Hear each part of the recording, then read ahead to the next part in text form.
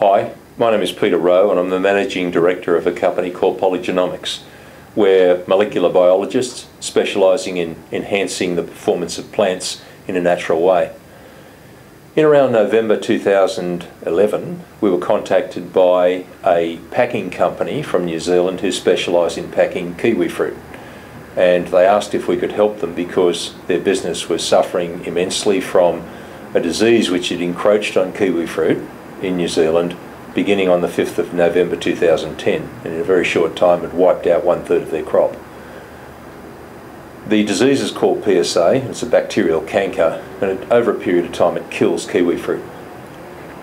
We didn't know a lot about kiwi fruit when we were first contacted, but with a bit of research we found that over 20 years New Zealand had managed to dominate the world, generating a $1.5 billion industry built around a brand and producing a remarkable piece of fruit, a very profitable and very, very nice eating piece of fruit called Zespri Gold, which is a gold kiwi fruit. We had a good look at that piece of fruit.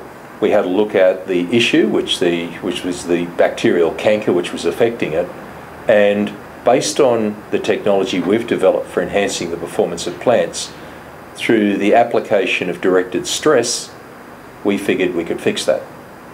So over the last four months, my company has laboured to put together a plan, a project plan, to induce disease resistance to PSA in kiwi fruit.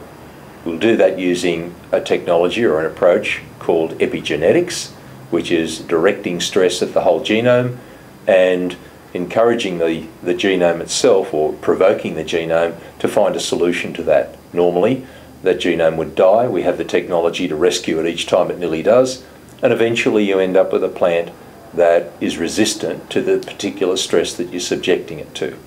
Not, a, not only is it resistant, but the characteristic of resistance is heritable. In other words, that plant, fertile plant, can pass that disease resistance on to its offspring. So hopefully, about this time next year, we'll have produced the world's first PSA resistant kiwi fruit. Thank you.